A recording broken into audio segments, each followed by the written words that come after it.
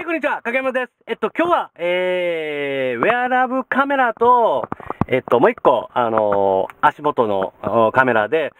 えー、っとですね、まず1点目なんですけれども、その、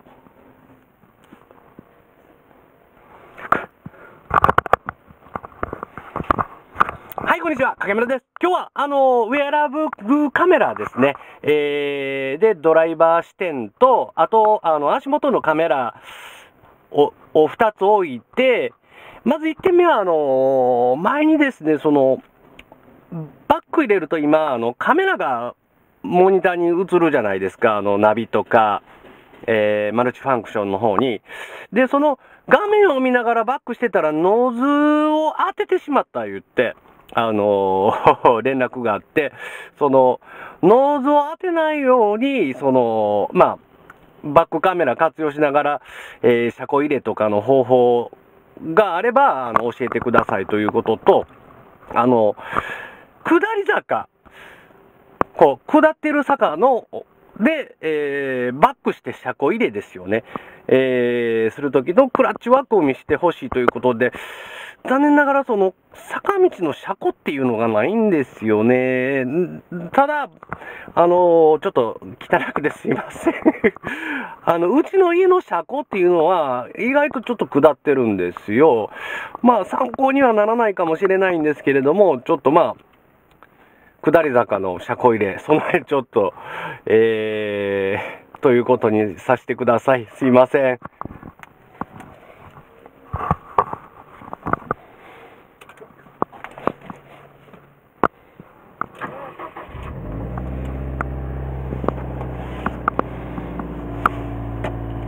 ETC カードを認証しました。有効期限は不明です。ETC カードを認証しました。有効期限は2021年4月です。はい、それではまずですね、あのー車庫入れるときに、あのーバックカメラ活用しながら、ノーズ当てない、あの、車庫入れの方法ですよね。まず基本的にバックカメラはですね、その、こう今バックカメラ映ってるんですけれども、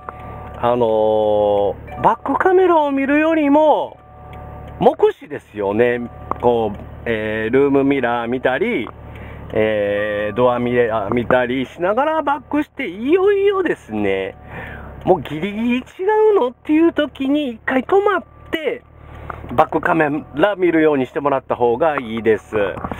えーちょっとやってみますね。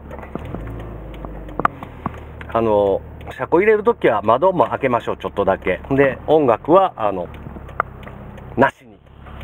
そしたら、あの、音のインフォメーションとかで、あの、今自転車ミサイルなんですけれども、そういうその、人とか、自転車が来た時に気がつきやすくて安全です。おバイクが。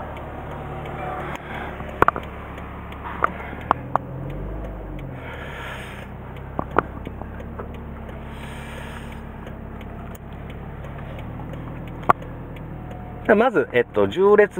みたいな感じですよね。まず、えっと、リバースに入れますよね。バックモニターで、後ろにあの人とか子供とかがいてないかだけ見たら、まあ、あとは、その、目視だけ、ミラー見ながら、目視だけで、車庫入れをやっていただいた方がいいです。そしたら、ノーズが当たりそうなんていうのはもう左右見てたらわかる、わかりやすいじゃないですか。もうこれ以上いったら、あ、ノーズ当たると思ったらハンドルを戻して、で、ずっと、えーっと、サイドミラー、ドアミラー、ルームミラー見ながら、車庫入れしていただいて、なら、あの、まあ、縦列の時もそうなんですけれども、こう、ノーズですよね。全然、あの、ノーズのマージンとかの把握もしやすいですし、えっと、まずノーズを当てるっていうことはなくなると思います。で、いよいよ、そうですね、えっと、あと、後ろにどれぐらい距離が残ってるのかなっていうところを確認するときは止まって、で、バック、バックのモニターですよね、バックカメラ参照して、赤とこまで行くとちょっと危ないんですよ。えー、本当はこの緑のところで一回止まった方がいいんですけれども、まあ、赤はもういよいよギリギリですよね。30センチぐらいしか、あのー、マージンがないっていう意味になりますので。で、まあ、これで、車庫入れ完了、重列駐車完了っていう形になります。じゃあ、あの、僕の方の家の、あの、坂道でちょっと駐車やってみましょう。さあ、うちの家の駐車場の方が、言うたらノーズ当てやすいので、まあ、ほんまにその、なんていうんですかね、あの、リアビューモニター、バックカメラはもうほぼほぼ見ないみたいな。もういよいよここギリギリ違うのっていうところで、まあ見るっていう感じですかね。で、まず、リバース入れますよね。で、カメラ見て、後ろに人、子供、えー、障害物ないか見て、見たら、もう、あの、目視で、左右見ながら目視で、まあ、ゆっくり、焦る必要はないので、焦ると当てやすいですよね。こう、左右見とったら、ノーズがこう、外に振るのがもうすごく分かりやすいというか、把握しやすいので、もうノーズ当てることはまずないですよね。で、ノーズにマージンが余裕ができたらハンドルを切って、まあ、ちょっと、えー、後ろやばそやったら止まって、こう、見て、で、マージンがないなと思ったら前に出すと。で、え、っと、またノーズを気をつけながら、まあ、前に出した時にノーズ気をつけるっていうか、もうノーズギリギリやから、そんなに、もう、ここ、こ、ここぞっていうところを、斜めになった時は、もう前のノーズはもう気にせんでもええと思うんですけど、やっぱりこう、やっぱり目視ですよね。顔を左右に振って、一点だけ見ないみたいな。で、また、マージンが少なくなったら前に出して、で、目視。目視ですね。リアビューカメラはまあほとんど見ない。みたいな。こういう感じです。で、いよいよ、えー、っと、まあちょっと、下り坂になってる、あの、実家の駐車場の方なんですけれども、まあそうですね、坂道の車庫であろうがなかろうが、その、基本的にバックするとき、大体半クラですよね。今もずっと半クラ。クラッチつないじゃうと、その、ボーンって後ろに勢いよく行っちゃうので、もう車庫入れ、普通の車庫入れと同じように、まあ、半クラですね。もうずっと半クラ。勢いついたらちょっとまあ、半クラチ切ってブレーキ。で、車庫入れが終わったら、まあ、後ろのマージンですよね。ギリギリですよね。で、まあ、車庫入れ完了という形になります。じゃあ、えっと、もう一回さっきの重列のところに戻ります。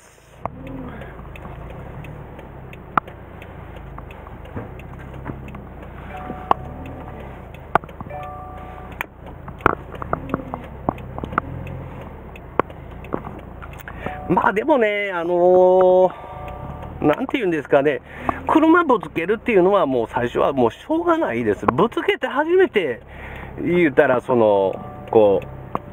う、なんて言うんですね、学習する？的な、ああ、車の幅ってこれぐらいなんやとか、車のマージンってこれぐらいなんやっていうことを、あの、身に、身につけるというか、学習するというか、ですよね。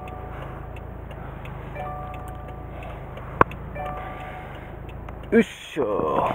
こういう時はもうノーズ気をつけないと。こうですね。もう首振って、ノーズやばいと思ったらハンドル戻して、またマージンできたらまたハンドル切って、みたいな。あの、リアビューモニターはほとんど見ないで。ルームミラー、ドアミラーですね。を見ながら、ノーズとの兼ね合いを、あの、チェックしながら車庫入れ、みたいな。まだ全然余裕ありますよね。